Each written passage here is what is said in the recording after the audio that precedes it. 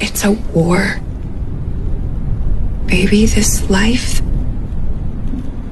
the things we endure. You said you saw the future, and it's an apocalypse. Who survives that? The lovers or the fighters? They sell us this lie that love's gonna save us. All it does is make us stupid and weak. Thanks. Look at me. Love isn't gonna save us. It's what we have to save. Pain makes us strong enough to do it. All our scars, our anger, our despair, it's armor.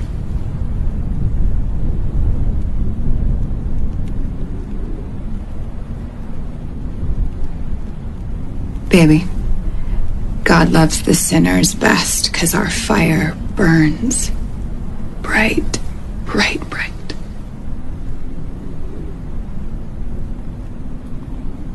Burn with me.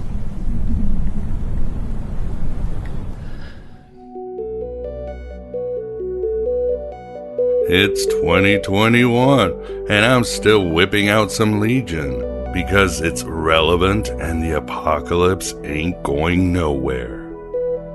But as Syd Barrett tells David Haller, we freaks and outcasts are only getting stronger because we are kings of pain and those veterans of a thousand psychic wars who have set the controls to the heart of the sun. We're going to rescue love this year now that 2020 fully awakened us to the simulation and the satanic game played by the Archons. Pay no attention to that man behind the curtain. The great and Oz has spoken. Who are you? Oh, I, I, I am the great and powerful Wizard of Oz. We burn as the hopeless sinners we are, burn with the alchemical fire of ancient Alexandrian magicians, burn with the forbidden gifts of Hermes, the god of thieves, and Sophia, the goddess of smugglers. Burn with the nuclear release of our indwelling divine sparks. We burn, we sinners, we freaks and outcasts. Babe, I don't care if you save me or the world. If you don't save yourself, Welcome to the desert of the real. Welcome to Aeon Byte and the virtual Alexandria. We don't take prisoners but liberate them.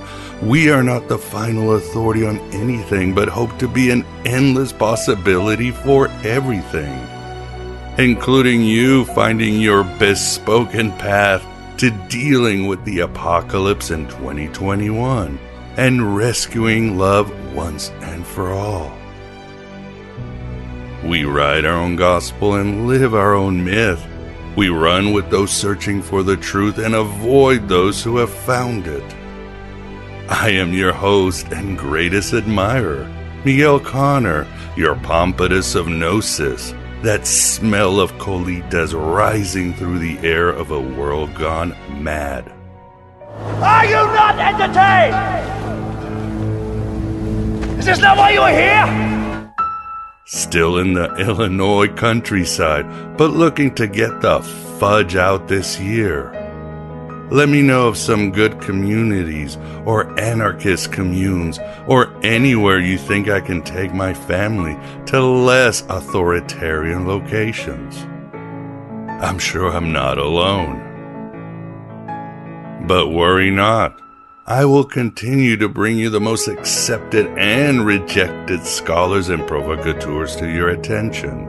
Incredible astral guests this year for Aeon Byte and Finding Hermes. You could say this show is a fusion of Aeon Byte and Finding Hermes, as we'll be intermixing the esoterica and mental wellness. What in God's holy name are you blathering about? Well, I'll tell you what I'm blathering about. I've got information, man. New shit has come to light. And, and shit, man. For this, we have the pleasure of hosting at the virtual Alexandria Geoff Hunnef to discuss his book, The Spaces in Between A Journey into Self Evolution. Geoff will take us through the ideas of high weirdness exemplars like Carl Jung, Crowley, Alan Watts, Gurdjieff, and others, tying them with his breakthrough ideas for self development and soul growth. He'll dig his concepts and spiritual tools. The middle children of history, man. No purpose or place. We have no great war, no great depression. Our great war is a spiritual war. Our great depression is our lives. But how do we save love during this apocalypse? That's easy. We express the incredible ecstatic compassion each one of us has in our hearts. That combine eros and agape that are merely the energies of the pleroma within us. The world has hated us because we love so strongly, you see. And now the world needs that love because so many meat sacks are combusting to ashes with self hatred and hatred for others. They bought into the fury narrative of Yaldabaoth and his rage against his mother, Sophia. If people can't control their own emotions, then they have to start trying to control other people's behavior. We rescue love by showing love by helping the least of our brothers, by being kind hearted even with fools drowning in fear, which is most of the world.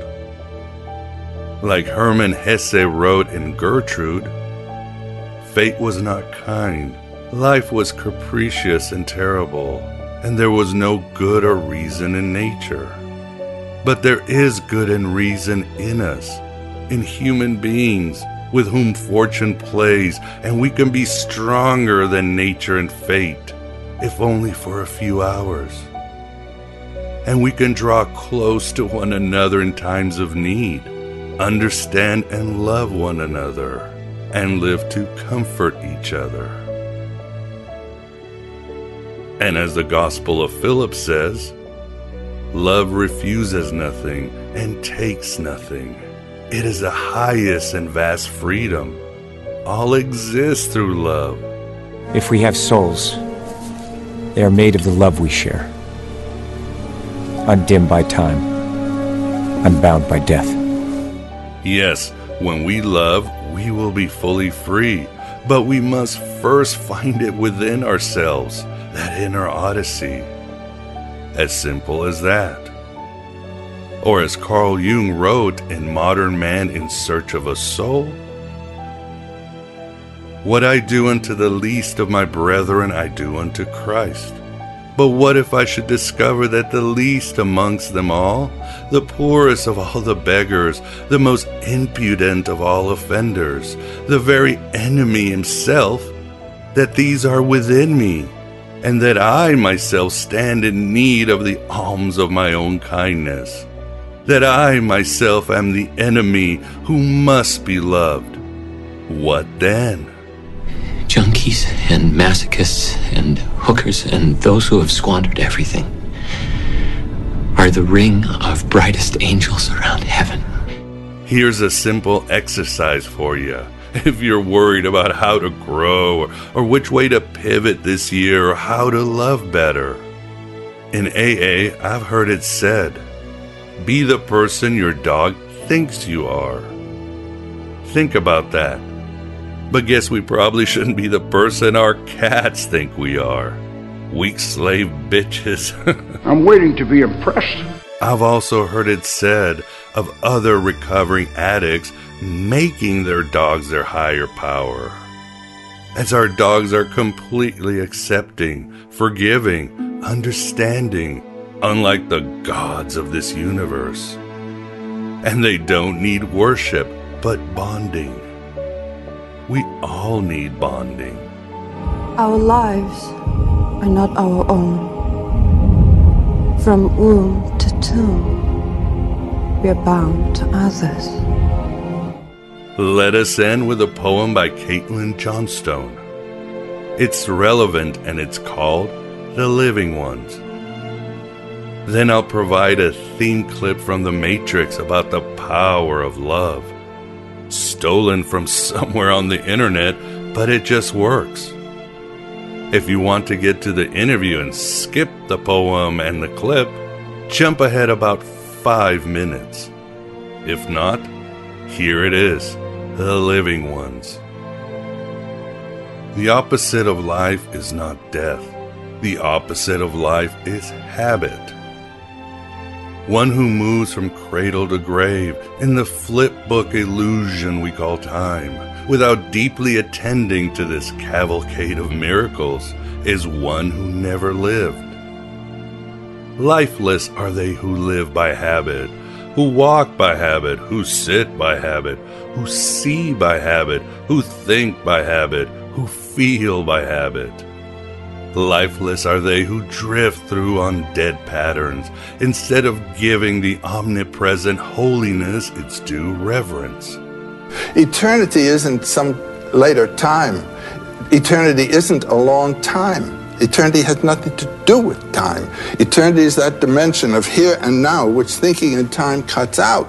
The alive ones meet each moment like a dog greets its master at the door after work. They do not think, they wonder. They do not watch, they marvel. They do not walk, they adventure. They do not sit, they engage. They do not wait, they worship. Awe was never meant to be exceptional. Awe is the only sane response to this mess. The alive ones know this. The alive ones live this. The mundane does not exist for them. The ordinary is a fairy tale told by the lifeless, to which the alive listen with rapt fascination. You ever feel like nothing good was ever going to happen to you? Yeah, and nothing did. So what? I'm alive, I'm surviving. That's it. I don't want to just survive. They take in breath with the passion of a lover in bed. They entertain light in their retinas like a beloved guest. They merrily lose every war in the world. They dance without music in the frozen food aisle. They go out into the rain with bare feet and empty wine glasses. They greet every experience with exuberant curiosity, and as death approaches, it receives the same greeting. Down through the centuries, the notion that life is wrapped in a dream has been a pervasive theme of philosophers and poets. So doesn't it make sense that death too would be wrapped in dream? That after death your conscious life would continue? And when they are gone, those they leave behind will be saddened but fulfilled, and so very grateful to have known one who truly showed up here.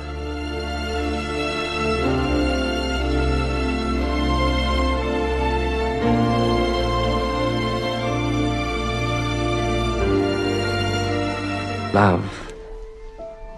It is a word. What matters is the connection the word implies.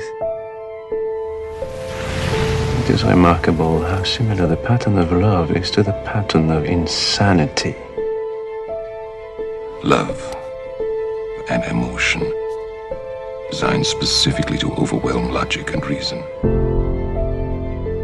I see that you are in love. Can you tell me what you would give to hold on to that connection? Anything.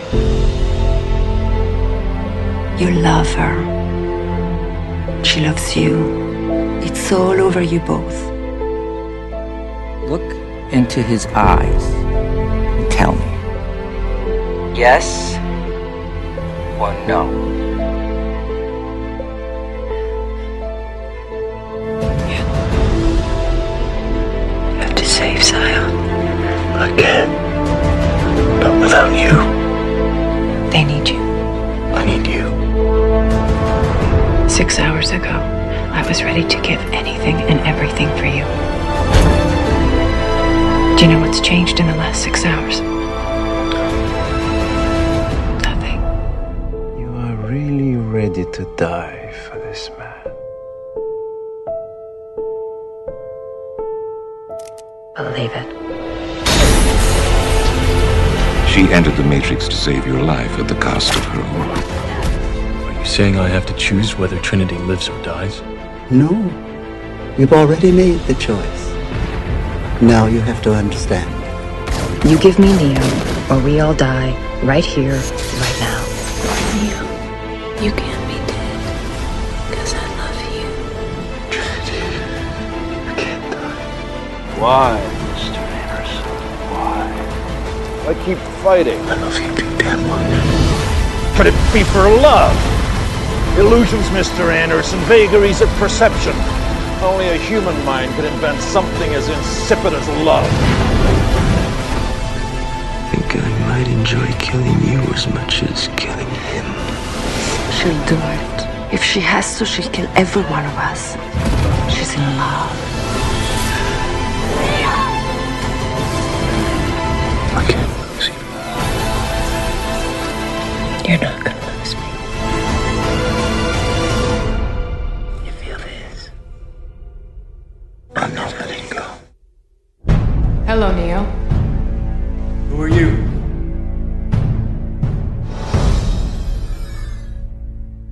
This is the Aeon Byte interview.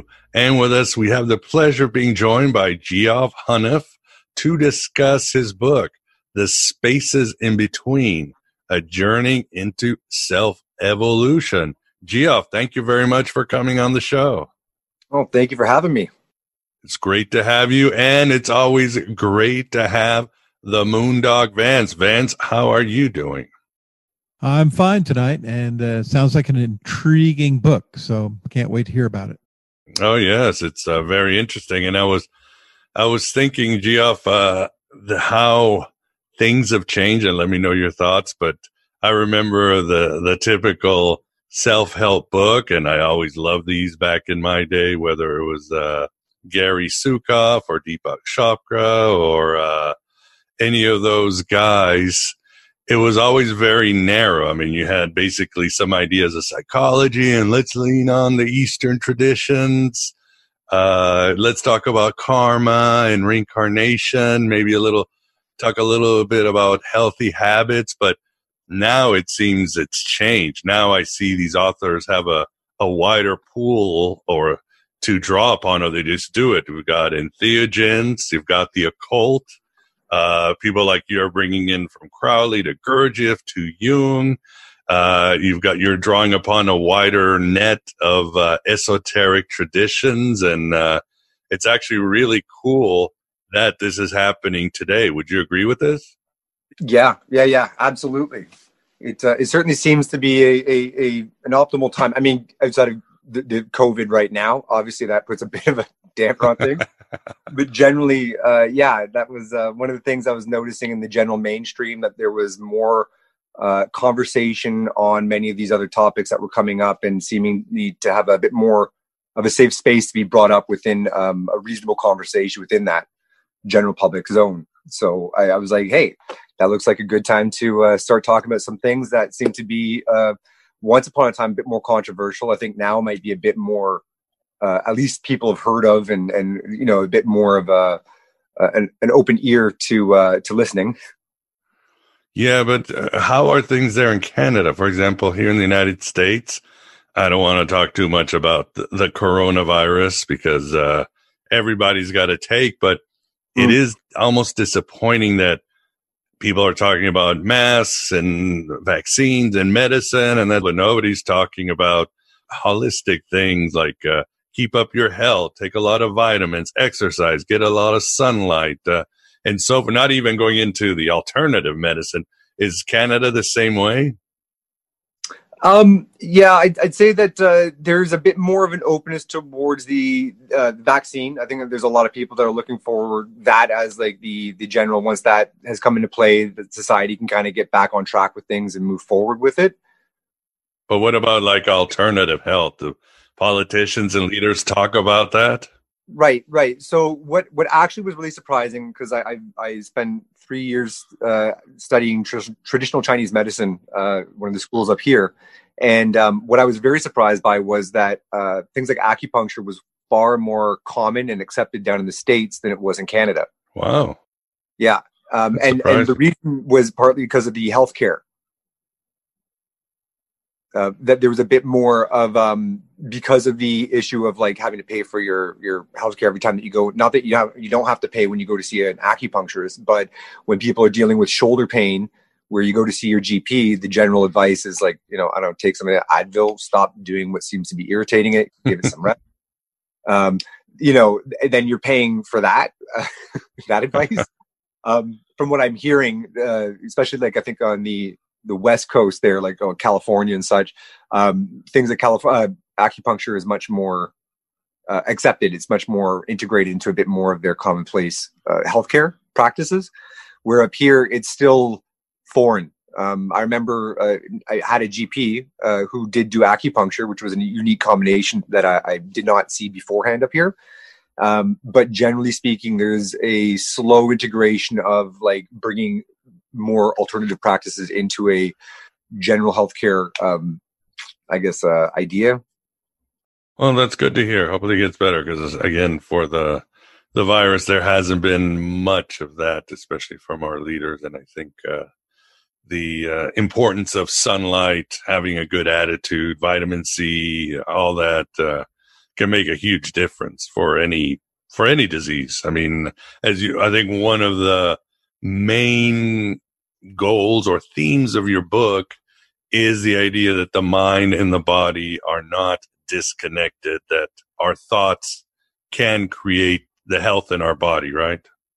Yes, yeah, yeah, I definitely would agree with that. Um, I mean, it's uh, I, am not necessarily saying just the idea of think yourself healthy, but obviously when you start to think about putting the practices that lead towards a more healthy life in in use, uh, you start seeing more of those results coming about, and by that you can start to create a more healthier life. Um, and then what I kind of lead into with that is the idea that like through seeing how changing your behaviors in the physical world, you can start to have an effect on changing your physical form, your body. That you could take those same principles in a different format and apply that to the mind. And then I go one further with it and say maybe we could apply those same ideas to the heart as well. The way that we go about developing a robust and healthy physique or form, a healthy body, um, that those same ideas can be used as well for the mind and the heart. Awesome. Well, we want definitely want to unpack some of this, but first, let's get to know you. Uh, tell us about yourself and uh, what drove you to write this book.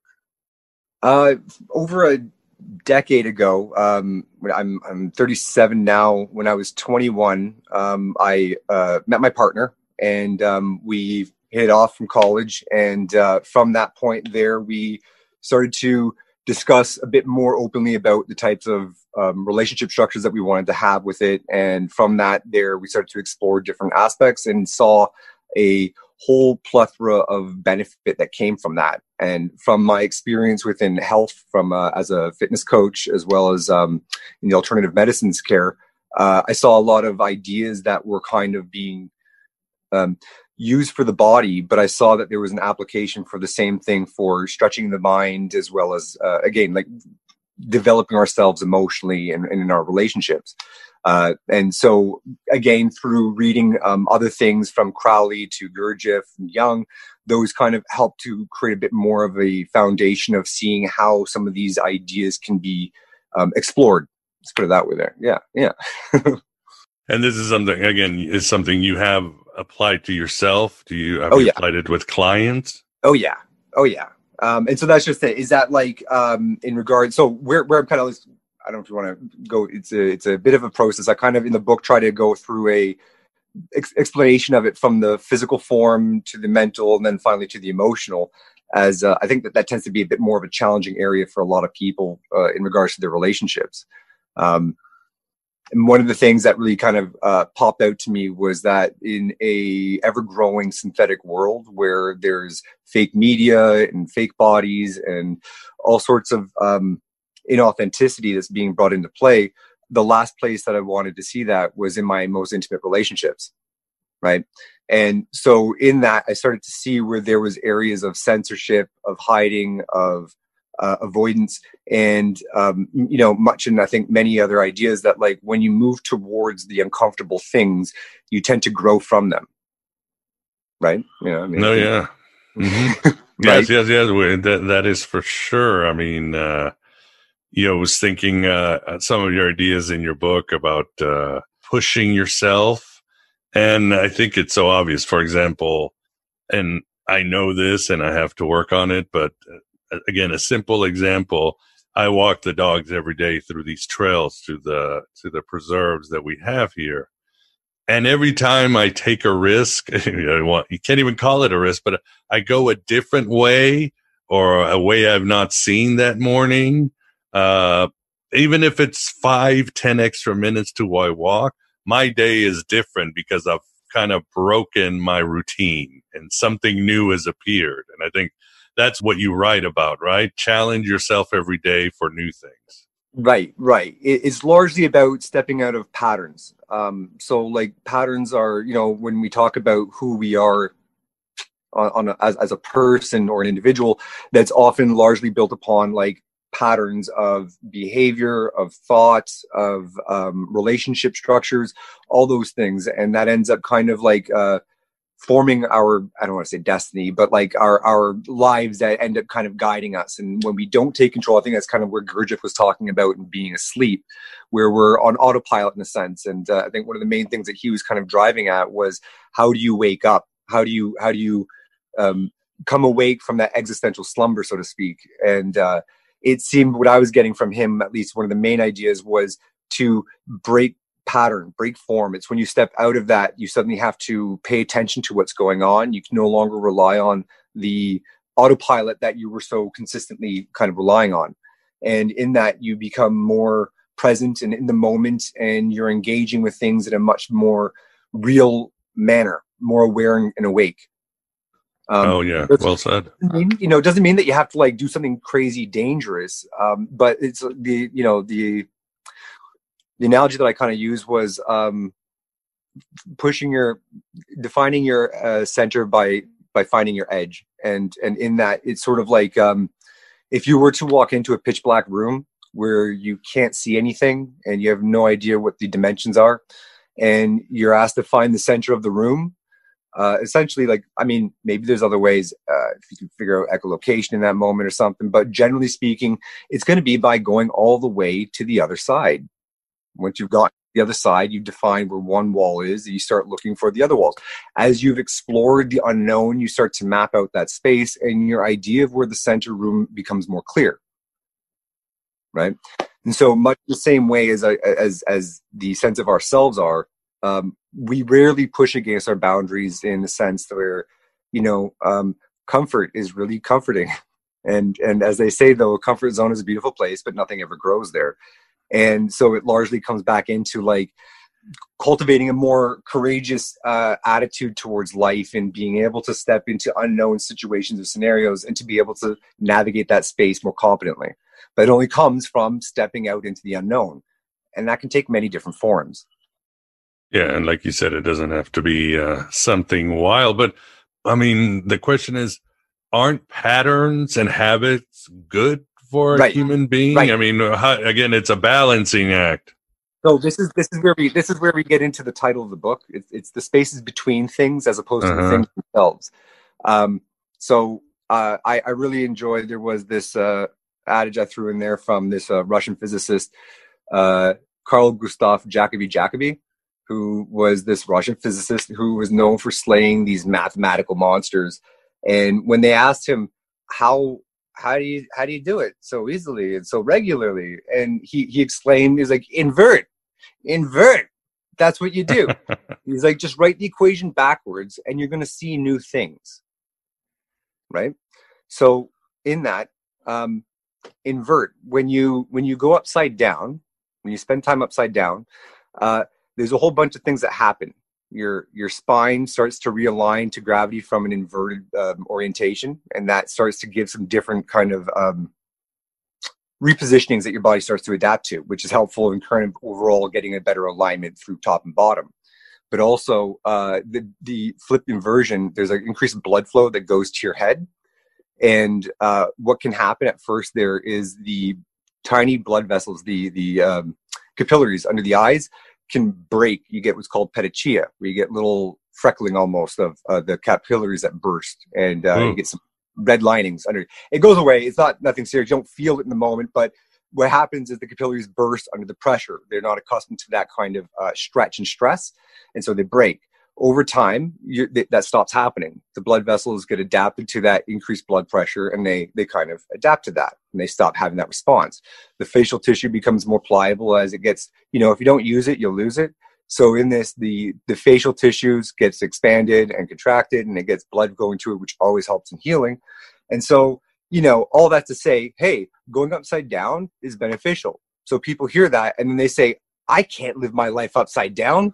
and you're like, I'm not, I'm not saying that. I'm saying spend some time upside down, and you'd be amazed at what happens, just a little bit. And so it's an exploring the spaces between these things you take the idea of inverting things and and i started to think okay so he was suggesting invert like when you come upon a problem invert try that out and see what happens see what you see um, then it came to me i'm like well, what if you just started inverting like everything and you start looking at everything and you start flipping it and flipping it and flipping it and you start seeing how many different variations and interpretations things can start to be and you start making all these new connections and so it seemed to be quite useful to start exploring these inversions. You just start to flip things. I mean, I just you take the idea of a of a man and you say invert, and you know that could be like maybe maybe you take him and he stands on his head. Uh, you say invert again, and he goes from face up to face down. You invert again, you turn them inside out. Right? It's a little gross, but you get get him inside out. You say invert again, you turn them from man to woman. Right? And so just from that one idea, we got like four other ideas that came from that one thing. And so that just starts to help us get new ideas and new perspectives. And it ultimately seems to be a good idea to gain new perspectives. Right? I, I, I was hard pressed to see when there was a time to where it'd be detrimental to gain a new perspective. No, never. I mean, your book draws from a lot of thinkers and their wisdom.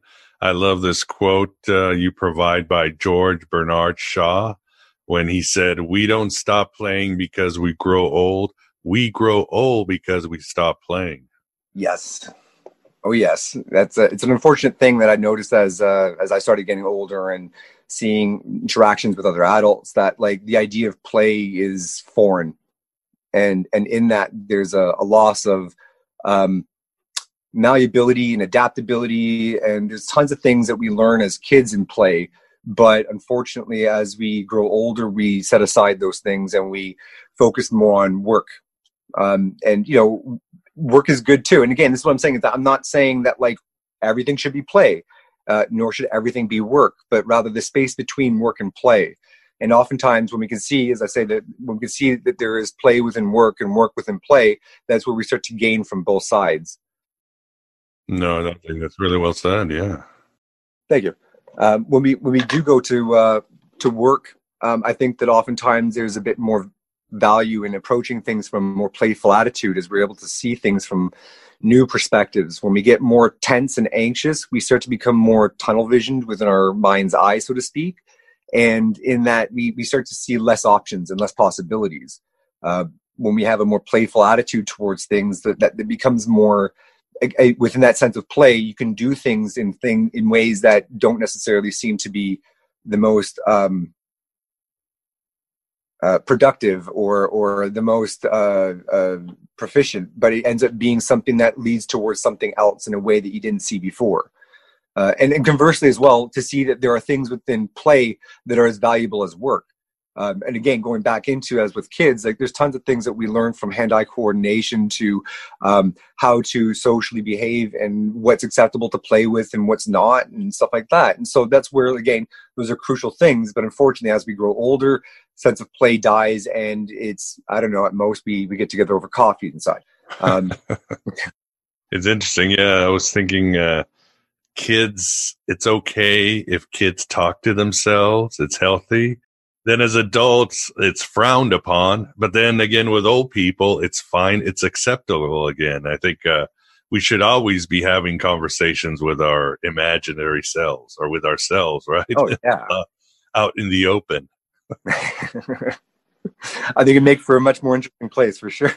Yeah, yeah, it'd be disturbing if you're at work, but uh, but and you're 100 percent right. I mean, uh, uh, when I was in marketing, uh, gamification always gave much better data when we did uh, surveys or anything like that. Uh, human beings are wired to be able to just enjoy and play games. Oh yeah, um, and that's where again as well that there's there's this sense of um, and again right now due to COVID, it's a bit more difficult to have more face to face interaction. But you know, uh, as we do go towards more screen time, because again, even with gaming on on screen, I love video games. Don't get me wrong, I play them too, but. um, unfortunately, it seems there's more and more time that we're spending in front of screen time, and there's less time that we're spending in front of like people. Um, Mhm. Now, I mean, at the same time, like I said, like due to technology, we can have conversations like this right now where we're in different time zones and we're able to communicate and talk, right? So, I mean, like again, I'm, as soon as you say one thing, people tend to jump all the way to one side. It's a very black and white kind of perspective on things, and it's more like it's things are. Aleister Crowley once said there, I think something I may be butchering it, like, you know, if you have a, a thought, think of it's the exact opposite. And in the marriage of the two, you have the destruction of illusion. Ah, love it. Yeah, and there's another uh, quote, or more like a exercise that he created. Uh, what is it? It said, with the restriction of prohibitions of using certain words such as the, and, and but. Right. Oh, see yeah. how that avoidance can alter our thoughts and change our speech and give us new challenges to communicate. And I love that because, yeah, if you told me not to say and for a week, I, would be in a very high state of awareness all the time. Oh yeah. Oh yeah. No, I mean it totally disrupts things, and so this is where I kind of talk about disrupt, uh, constructive disruption, where you utilize things that create an impedance, but for the purpose of of gaining something more in the abstract afterwards. Um, as I, I give the example, I mean that that that was brilliant. I mean, from from Crowley in, in the in this perspective of the mind, that that that's exactly it, right? You just create these obstructions that you have to work around, and in that you you start to see new avenues and new ways of wording things or connecting things. Um, the same goes with the body as well, and the idea that like uh, if you were like let's say you're a fighter and you're learning to uh, fight having one arm tied behind the back for a period of time you could see where working with the detriment once the obstruction's removed you've gained something more than what you previously had going into that right and so in that Mhm. same way from the body to the mind we can take it further and into the emotions as well with it and so again just to kind of start to overlap the, that groundwork to show or illustrate that like you could see how things affect it within the, the physical form and it seems that things are the same but different in the mental realm or dimension of, of reality if you want to call it that um, and then conversely as well i would think that like the the other aspect of reality being emotions like we, we feel things and those have far more influence largely on our actions than than thoughts. I mean from I, I, marketing i believe you, you try to get at the the emotional context of them right? More than the the actual data that you're trying to provide. It's the story that's being told more than the the data. Your book is uh, very eclectic when it when it comes to well, almost everything, even the the spiritual figures you bring in. Uh, just out of curiosity, what have been some of your uh, spiritual or intellectual leaders or influences growing up or through your adulthood? um so or you're just I, uh, eclectic. I just said it. you just draw where you draw from. um, well, I mean, like, like uh, I was uh, originally Roman Catholic, and I served in the church. Uh, and at some point, I hit what I call the age of reason, and saw that it wasn't quite what I believed it was. And again, I think that a lot of people have a child's perspective of religion or spirituality, and at that some point, if they if they don't evolve that or mature it, I think that it stays within that. Like, oh, really? It's it's an old white man up in the sky with a gray beard looking at you know, in that sense, then you're like, okay, if that's how you're thinking of things, and yeah, I guess like it's not going to make a lot of sense. So uh, at that point, I think that uh, quite early on, I was a little bit like uh, upset over the fact that like it seemed like everybody was believing it, and and nobody checked behind the curtain. Like it was just like for fact that like for sure, there's this guy and he created everything, and that's how it is. No questions about it. Uh, and at some point, it was just like, but wait a minute, that's that's not adding up. And then, of course, you see contradictions and and hypocrisy that forms within the church or and any organization really with it there. And so you're just like, ah, That's not overly great. So, you know, you rebel and you're like, well, let's invert, right? You go to the opposite side there. And at some point, you're like, ah, this seems to be about the same thing as the other side. um, so then, you know, atheism. Atheism is like, yeah, that makes sense. Let's go down that road for a while there because at least that way, whatever I believe in is something that is, is provable, right? In that sense. Um, and uh, I, I followed atheism uh, like a devout fundamentalist.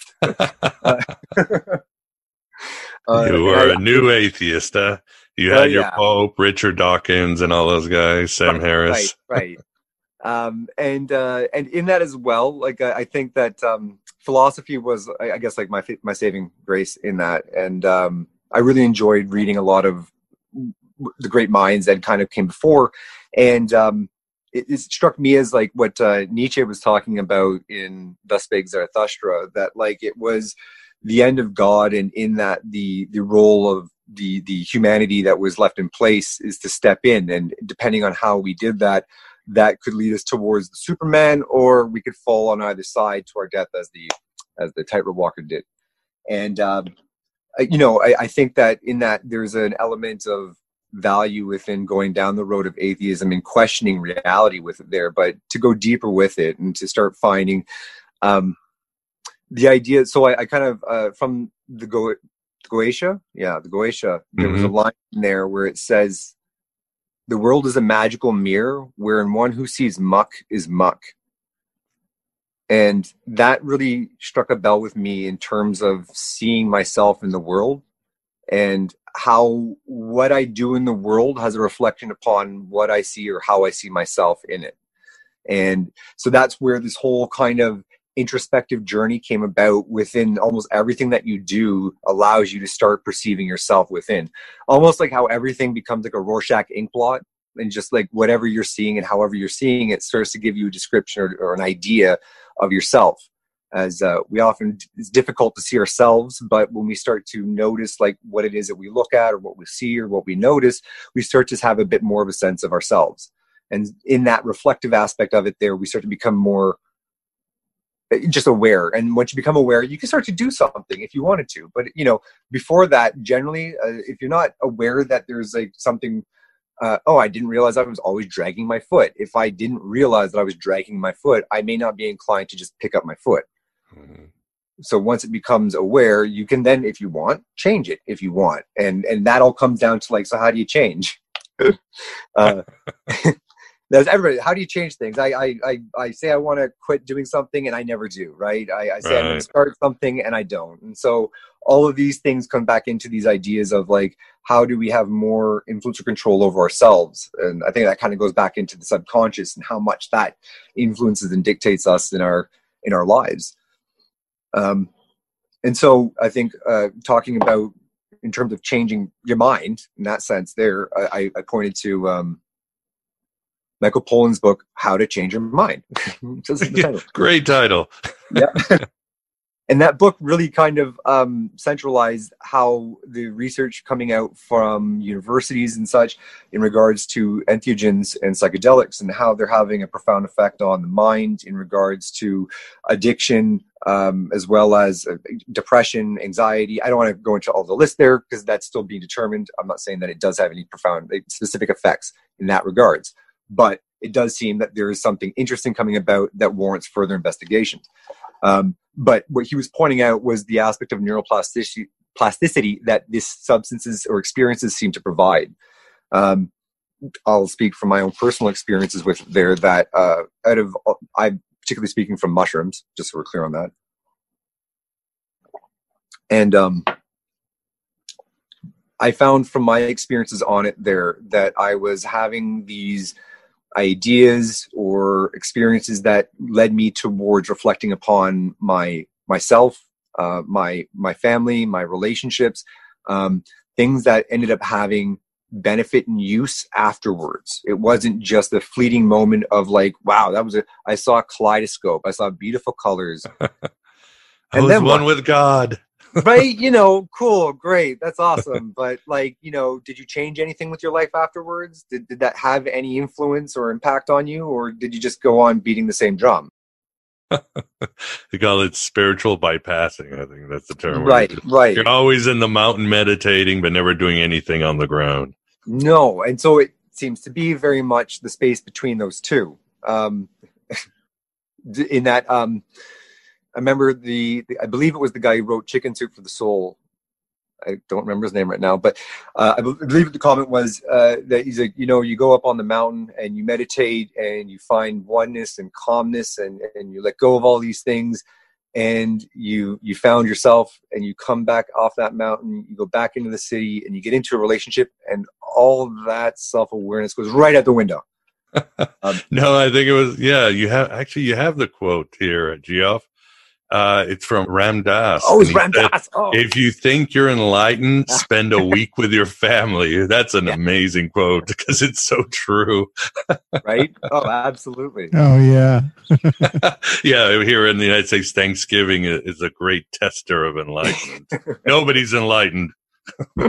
right, right. And so that's where the card table comes out. Uh, and so it, it, seemed very much that um, again, it's one thing to have these uh, high, lofty ideals, but it's it's another thing to put it into practice. And um, there was there, in terms of entheogens within that, um, there was this uh, one book called Mushroom Wisdom, and I can't remember the author's name. Um, but in that, he had talked about this uh, term called a peak experience. And it wasn't peak as in like um, hitting an apex or a high point sort of thing. It wasn't that it was like a peek as in the way that you would peek around the corner or over a fence. You'd peek at something. Uh. And um, the analogy was along the lines of like uh, you'd be walking along the street and suddenly this ladder appears out of nowhere and it stretches high into the sky. And you climb up and you go up 30, 40 feet and you look around and things look different. You're higher up and you see further and in the distance you may see something beautiful like an oasis. You see something wonderful and marvelous and it makes so much sense. Oh my god it just oh i get it. It makes so much sense. And then you come back down and you no longer see it. You're, you're not any closer to it. it it's vanished out of sight. And in that experience um, people can be like dismissive over the idea that oh it was i was just high. I was just tripping. I you know that, that's all it was there um, meanwhile, in that, in that peak experience that you had, what it did was it gave you a glimpse of an ideal. You saw something that was beautiful, that made sense, that that was an oasis. You come back down and you no longer see it, but you have an idea, a sense of where it is, what direction to orient yourself to now. Um, I talk a lot about how uh, in between matriarchal and patriarchal cultures, there was some really interesting kind of polarities or contrasts that were being shown between the two. And um, in the patriarchal, they valued waking sobriety, like consciousness. This was the way that you would go to war. I mean, I don't know. I, I hear the Vietnam War was pretty, pretty heavily They're all bad, up. man. They're the Germans were pretty drugged up, right? And the Nazis, uh, you know. So I don't know. Maybe not. Maybe you do go to war inebriated or intoxicated. But, yeah, your book uh, talks about the Vikings used to take shrooms before they right. went on. They were the greatest fighters in history. Right, right. I mean, so in that, that was an interesting comment, just because I I had noted that um, in my experiences that uh, on mushrooms, my grip strength would go up, and oh um, in in strength conditioning, your grip strength has a direct correlation to your upper body strength. Uh, partly because if you can't hold on to the weight, you can't lift it. So there, there's a direct correlation on that. So I noticed that my grip strength had considerably increased on that, and I was wondering if there was an effect on the physical body. And so when I look back into some of the uh, literature, I'm trying to find like did they ever use it for like I don't know anything else than just like having spiritual connections or, or journeys or such. And um, the Vikings were one with the berserkers. That seemed to have been something that was being used in their brews before going into uh, battle. Um, in South America, that they would use it for hunting, um, as it aided in gross movement patterns and edge detection. And uh, Africa, apparently, they have a wide range of entheogens, and some of them are used for fighting. Uh, and I was amazed by that they differentiated between fighting. There's certain plants that you would use for fighting with your fists, and other ones that you would use for fighting with weapons. Wow. Yeah, I was very surprised by that. I don't. I've never dug further into that, but the difference was on it. But I was surprised to see that there was a difference in that. Um, all that to say, uh, I was at a conference at U- University of Toronto, uh, and uh, in they were talking about microdosing, and I had asked them if there was any reports of people using it for physical performance enhancement because it is being used in places like Silicon Valley for creative design and troubleshooting or pro- uh, tr- uh, problem solving. Uh-huh. Um, and of course, in therapies, it's being used for you know mental exploration and healing and such with it there. But I was curious to see if there was anything being used for the physical body um, in that sense. And uh, the the presenter, uh, she she laughed and she was like, "Actually, yeah, we're getting reports from people in, in the WWE, the the, the wrestling." Oh wow. Federation, they're using it in their training. So I was like, really? That's that's okay. Good to know. Um, so yeah. So as a side note, there was there seems to be physical benefit as well for performance enhancement in various degrees that uh, I've noted, and I've been trying to find other people to kind of hone in on that aspect of it there to see if other people are noting that or finding that too.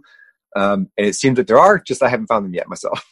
and how are the the the laws in uh, Canada? I mean, here in the Right. United States, it's gotten much better.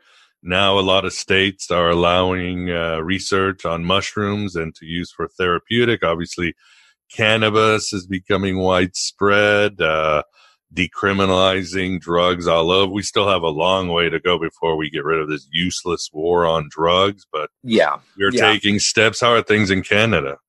Uh, Canada, it's it's similar. It's coming a long way with it there. I know that they've recently legally allowed for two men who were to treat depression that to use mushrooms for. Awesome. Um, was a, a big step forward with it there. Um, the laws are a bit strange here because they also grow naturally here. hmm It's not illegal to have them if they're wet, if they're fresh. That that seems to be okay. It's just dry them. Uh when they dry, that's when it's illegal, and, and that becomes problematic. so look, it's a bit of a foggy, hazy kind of law on that. Doesn't seem to be overly enforced, but uh, at the same time, I would not recommend just going down the streets and advertising that either. My mushroom just dried up. Oh no, I'll be arrested. just in the sun, it happened. yeah, yeah. Um, but I mean, from my experiences on them, I found that there was a wholesomeness that wasn't seen in anything else that I've I've, I've dabbled with other recreational drugs and such with it there, and I mean, they were fun for when I was a kid and such with it there, but I never carried much forward with it and kind of left it behind. Um, but mushrooms was a whole I, i'll say psychedelics i'm sure that's just in that broad stroke but for me it was specifically mushrooms um, they really hit home in terms of um, having deep just a matter of like oh wow I, I just had this like great experience and you know in that sense like, like i said like it was it was things that i then integrated and took to heart and changed in my life um, as, as one example was um, i saw that my mother had sacrificed much things for my sister and I growing up that I never acknowledged and realized.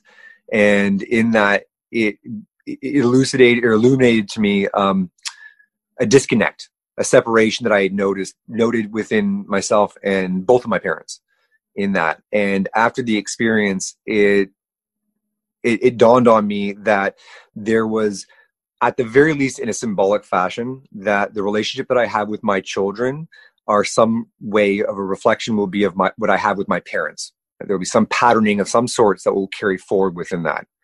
Um, seeing that I didn't want to have the relationship that I had with my parents to have with my kids, I uh, was took it upon myself to change that. I was like, you know what, that's not um, how I want to do things. So I invited my mom to come and live with me and be a part of my family household. And you know, uh, back to that example with Ram Dass about the whole uh, you think lighten your family. Yeah, yeah. You, your I took it to heart, spirituality. I was like, you know what? I want to, I want to, I'm up for the challenge. I'm up for the challenge. Let's do this.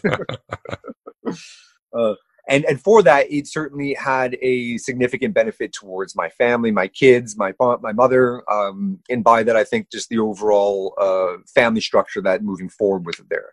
um, going into the idea of generational lineage kind of traumas and carrying forward things. I think that all that starts to overlap. And I think when we start to become more aware of who we were, who we are, and who we want to be, that we start to have more influence and control over directing those things. Um, as opposed to just being directed by the world and suddenly like i said like you know at some point five ten years down the road you you, you wake up to like wait a minute this isn't the life i wanted. This isn't it's like that talking head song once in a lifetime right? Right yes.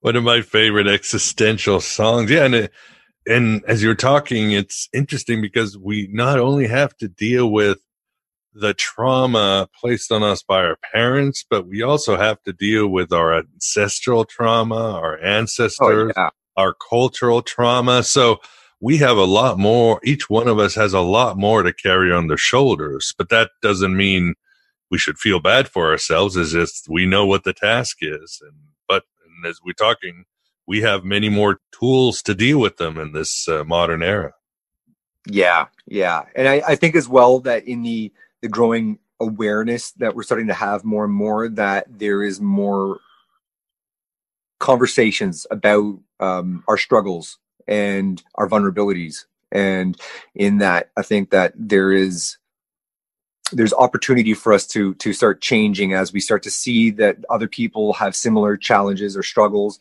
hurdles that they're overcoming overcoming or failing as well. Um, i know that uh, i mean just in, in the process of me writing this book, I I uh, I kept on constantly feeling like this is terrible idea, this is stupid, this is this is uh, you know. Um, oh yeah, God, I know the feeling. Yeah. right, right, you know, you know, and so in that, when I hear from other people that they had the same experiences, I'm like, okay, this is part of the process. Like this is this, this is still part of it. yeah, yeah, that's. Um, that's normal. Right? Yeah. And and but in that though like i mean like it's it's it's tough to do and you can ex- you can talk from those experiences afterwards that um helps to give more more confidence and and competency to the things that you're talking about. Um you know i mean like again going to like the idea of like pushing boundaries and challenges uh, you know for the most part people are going to keep it to a relatively safe space. Um and in that though like you know uh, uh the um example that I, I gave in there, one of them was uh, I ended up doing a hook suspension where I was hung by my back by hooks. Mm-hmm. And and in that photos. Uh, right had some photos in there. Yes. Fortunately I had some I had some from back when I did it and I was like, oh sweet, I can put them in there. That's great. and um I often have people ask afterwards, like, why why'd you why'd you do that? yes. Not a normal everyday thing. No, no. Texas Chainsaw Massacre be right before that, right?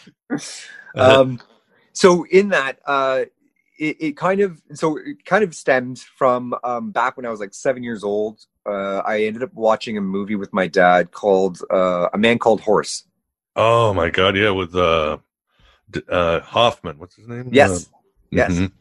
Yes, yes. That was an incredible, intense film with the nipples. Oh my god! Right? Oh yeah, oh yeah. Dustin Hoffman. That's it. Yes, it, it, was good. It left a mark. Never at point did it leave a mark where I'm like, wow, I want to do that. It just, it was, it was a, a mark. and um, in that, years later, uh, I ended up coming in contact with some people where they ended up, uh, they, they did that as a business. Yeah, that's what they did. Oh, wow. Yeah, yeah, and because uh, I remember like at some point being like, where do you ever like have the chance to be like, oh, there's an opportunity. I think I'll go for that. Never, never, right? So uh, this opportunity came by, and um, I was like, you know what, let's go for it. Let's do that. That sounds like something that few people would step up to. Uh, you know, up for the challenge, so to speak. And so I was like, yeah, let's do that um, I think when you go deeper into it, it starts to come into being able and Jeff, could you uh, describe the ritual and the ritual in a, a man call horse? Okay, so in, in a man that called way, horse, the audience can see what it is. Right, a little bit. Right. Yeah. So it was a it was a, an old movie uh, about a cowboy that got captured by some Native Americans, and they um, basically enslaved him and treated him like a pack mule, and they called him horse, like a, like a horse. Right. And um, in his time in the village there, he ended up kind of hitting it off with one of the women, and they kind of wanted to, I think, get married. Um, but to do that, he had to be a member of the tribe. and he was not a member of the tribe. So to do that, he had to go through the uh, the Sundance ritual, which was the initiation rites for their their boys to become men in the tribe. And um, in that, what they'd do is they would uh, take a pole and they'd stand it up and they would lash vines out from it there and tie it to the top. And then they would take these bones um, and, and or skewers and they would drive them through their chest. Their nipples, uh, nipples for men. they, they, they, they, did it through their the, the, the skin on their chest, the nipples. Uh, yeah. They put through the the calves. Uh, they take these skewers, they put them through the calves and the arms as well. Uh, and uh, and then they would kind of be hung by these things, or or they'd lean back and they'd be pulled by these things for hours, for hours. They kind of get into this daze. They uh, some of them when they were being hung by it, they're they would have other members come by and hit them or give right. them a push. Just you're not you're not suffering enough yet. give a little push. um, and so. Uh, uh, yeah, and so uh, afterwards, when when often these the dancers would um, collapse, they would then have two two other members that would come and grab them, uh, and they'd cut the vines, and then they go running with them, mm-hmm. uh, and they'd run until until the skewers came out, I guess, sort of thing. And so that was that was that was that. yeah, it was intense. my experience was nothing like that. a little bit better, a little different, A little different. I had the hooks through my back, and um, it was uh, I got pulled up. So actually, sorry, just as a quick little story on that one. Um, when I went there, there were these two other girls that were going before me, and um, one girl she was going with a, a lotus position. She's sitting cross-legged, and mm-hmm. there's a ring above that had these hooks coming down suspended around her in a circle. And the the the person who was setting it up was going around and hooking her up and kind of getting her all set with it. And then they used a, a, a lift to lift her up. And as they got her up, the guy was walking around checking to see how all the insertion points were and saw that there was a tear starting to form. Oh. Right. Yeah. Yeah. That can't be good. Ooh. You can imagine once that goes, it's, it's just going a whole lot more. Ooh. So he called it, got her down. They took her off and they stitched her up right there. It was fine. It was good. Um, her friend was going next, and her friend, after seeing what had happened to the girl before, uh, was a little nervous. And so she was just doing the normal one through the hooks through the back. it seems to be a conventional position sort of thing. And um, she started to get really consumed by fear as the tension got pulled up and she started to come up onto the toes. They don't just lift you up. You do that yourself. You kind of, they let you take your time to like, when you feel comfortable, try to come off the ground and get airborne, so to speak. Um, when I was reading beforehand, a lot of people have a hard time with that. Uh, letting go of the ground and being safe or secure enough that your your back isn't just going to rip off or something like that, right? Uh, yeah, yeah. So uh, she really welled up with um, fear and um, got overwhelmed with it, and she couldn't she couldn't do it. And so after some time had passed, uh, she came down uh, in tears, and they took her off, and uh, you know took her to the side and all that fun stuff there. Uh, and then it was my turn and it was my turn. And uh, I look at all that. I was like, okay, all right, I, I, I see. I see that there's going to be some challenges. Uh, let's see how it goes. And um, they put the hooks through the back, which wasn't wasn't too bad with it there. And um, once they got the tension up, and I was kind of being lifted up onto my toes, I could feel. Uh, oh, I see what they're talking about. I can see why it's difficult to get those, those feet off the ground. Um, but I, uh, after a moment there, I kind of sunk down and and felt the weight go into my back, and then took my feet off the ground, and I was hanging, and I was like, okay, this is this is this is okay. It's a little little tense, you know, but like it was it was manageable. And uh, so I was hanging around for a little bit, and then they were suggesting to me to try to bring my arms up over my head. And I was like, oh, why? And I went to bring my arms up over my head, and it was really difficult. Uh, it was very painful. Um, but I did it. I got there, and I was like, okay, that was interesting. Didn't didn't expect that. And then uh, they ended up advising my partner to come over, and she she came over, grabbed onto my shoulders. I wrapped my legs and arms around her, and took a step back, and then we swung together. So there was a brief moment where like I was supporting both of our weights through the the two hooks. That that hurt. I'll just say that everything else was pretty manageable. That part there hurt a fair bit. I was I was in quite a bit of discomfort. So I was, okay, get off. Let me and down. This uh, this ritual. What's the background? Is this taken from Native Americans or is there a science behind this or So, so in this here, so when we're getting into suspensions, there's a broad range of different fields. Some of it is going into Native American, where there's Uh-huh. some um, angles from that. Uh, some of it, I believe, there was uh, an artist that uh, I want to say back in the 70s, uh, where he was doing a fair bit of work where he was doing suspension, where he just had himself suspended by hooks um, out on a coastal line, lying sideways. Uh, he did a whole bunch of just different takes on the idea um, and really ran with it. Um, and then you see a fair bit of it as well at things like Burning Man, right? So Oh. Just in that context of where you'll you'll see those kinds of practices, and then of course as well if you uh, go to any um, fetish events or kink organizations, you could also come across that stuff there as well. Hmm. Well, obviously that's not going to happen to me. What about you, Vance? Have you seen it in your last kinky event? No, no I, I'm, You I'm missed not. it? Yeah, I'm, you take kinky and uh, reverse it, invert it, and that's me. Right, right. well, so first and foremost, it was not a kink oriented thing. A lot of people were like, "Oh, is this sexual or something?" I'm like, "No, I had nothing to do with that." but it's amazing how much it goes there for people. Well, I think you know. My opinion is it's a form of introducing a controlled trauma on, on the principle that um, you learn uh, from traumatic times in your life. You know, like when you're. Uh, I think uh, Geoff, didn't you say earlier? You pointed out that uh, when you're comfortable, um, nothing moves. You don't gain anything. You're just kind of there. I'm satisfied. You know, I don't move. But when you have got a trauma, then you start noticing the pain you start noticing the fear what if these rip through me and so forth and so on and, and probably a lot more that i can't imagine since i've never done the process but i have a feeling just the same way that what was it trappist monks used to hit each other you know or hit, hit themselves Exactly, in the yeah. head. Mhm. yeah same thing because um, out of trauma comes uh, some sort of um, Yeah. uh, or the mystery religions that you're supposed to that scare the shit out of you before you went into the actual ritual. Yeah, yeah. Completely malleable and open to whatever Um, energies are out there. I think, uh, initiations have you guys ever heard of the Aghori I don't The think so. Aghori. from India? No.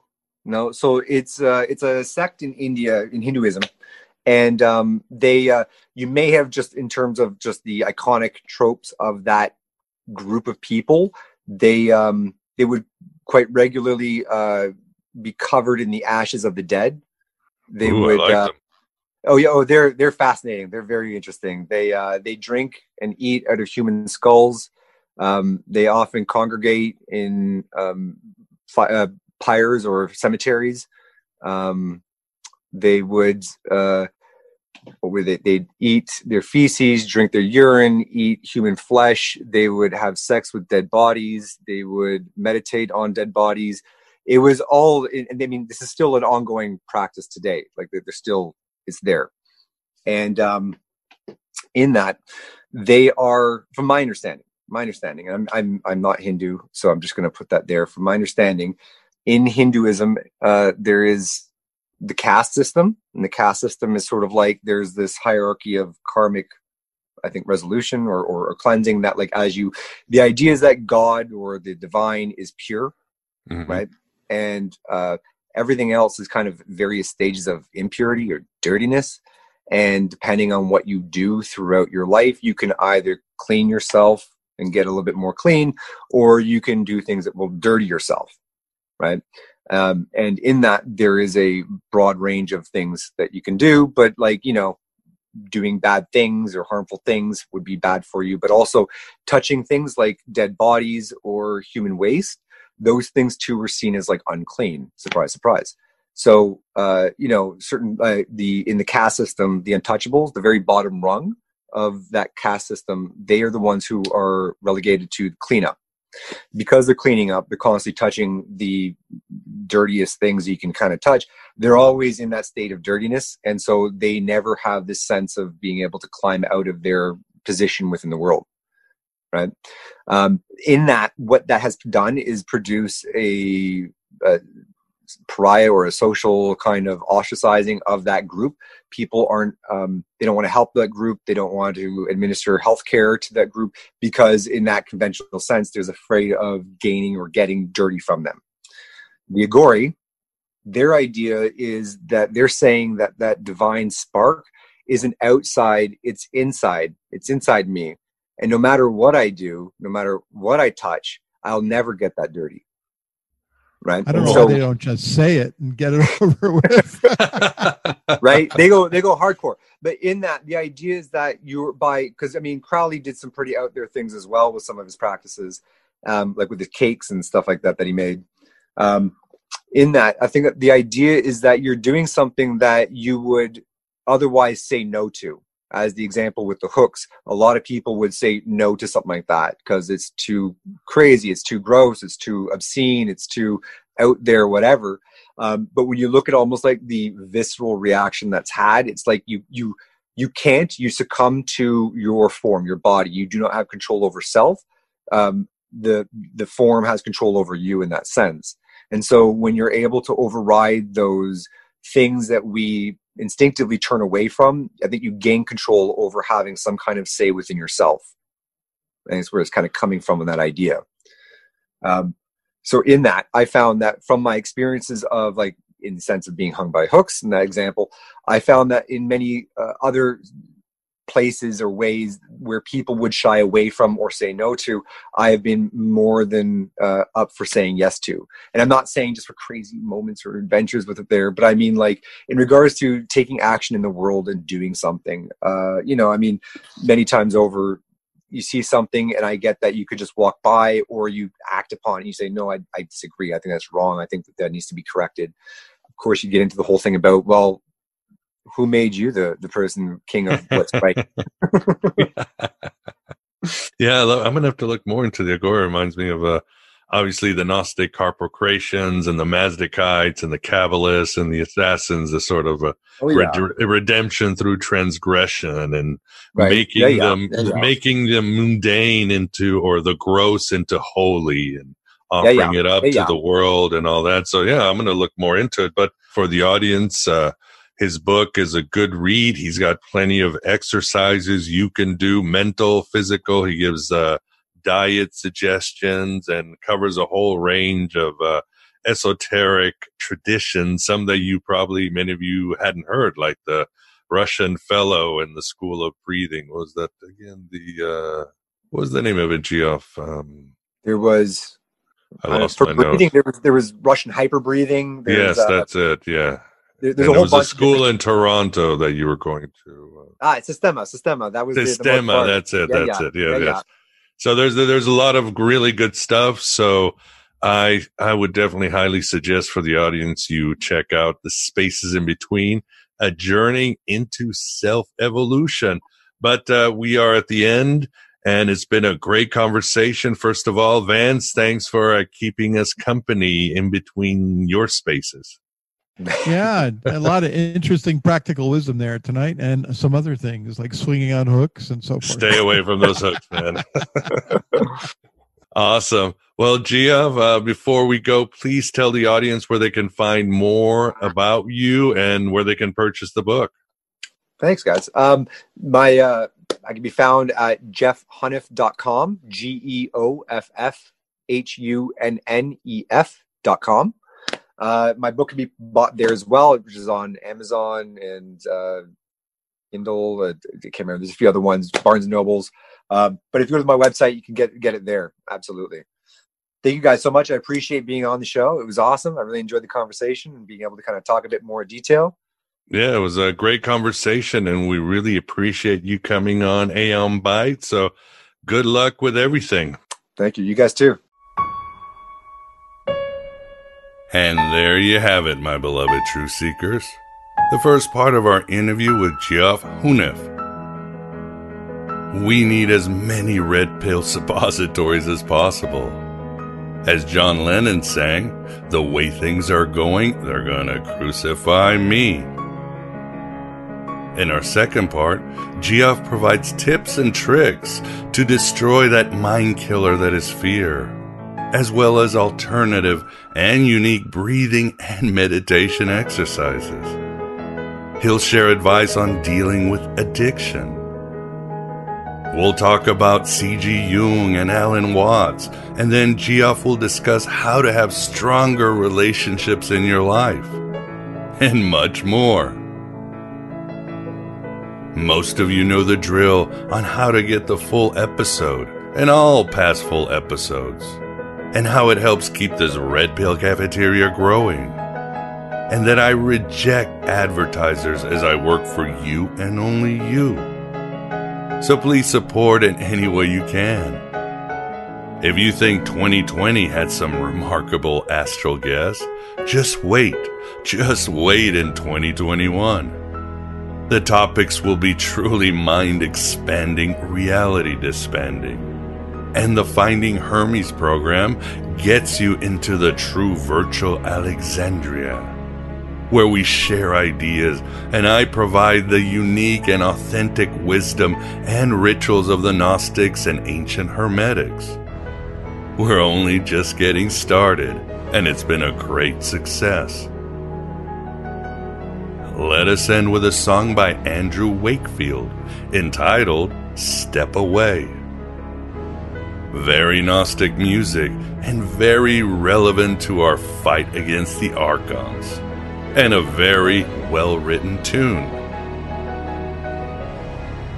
Hello and goodbye, as always.